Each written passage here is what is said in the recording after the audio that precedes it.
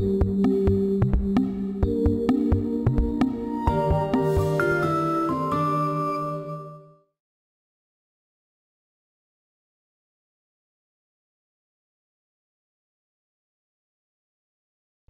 back to Coffee and Cam. What we're going to do today is we're actually going to go over what it takes to skin an engine block like this so we can later on make some parts and do some design stuff.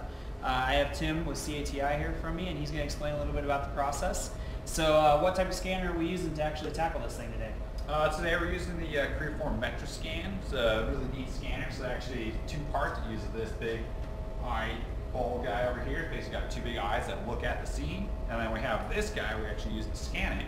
So this sees where this is in 3D space, and then this shoots out the lasers onto the part to figure out the shape of it, and then we just go through and scan it up. And it works really well, really smooth, quick setup, and great for shop environments like this where we can just roll in, hook it up, and don't even need to worry about granite slabs or anything.